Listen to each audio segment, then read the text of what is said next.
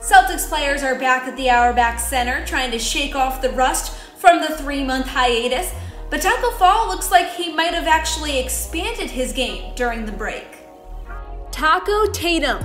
That's what Boston GM Danny Ainge coined him after watching him drain a three during his workout on Thursday.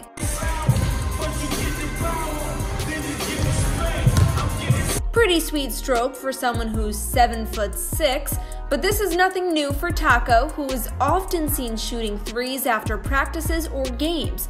Earlier this season, he said, quote, "If you feel comfortable shooting threes, then the closer you get, it should get easier." End quote.